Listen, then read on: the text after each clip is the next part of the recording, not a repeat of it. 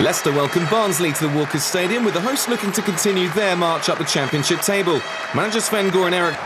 Soon after, Chelsea loanee Patrick van Aanholt very nearly made it too. The Dutchman denied by the bar. Broke of half time. It was another Chelsea loanee making his mark. Some fine footwork on the edge of the area created the space for a terrific finish from 20 year old Jacob Mellis. Leicester.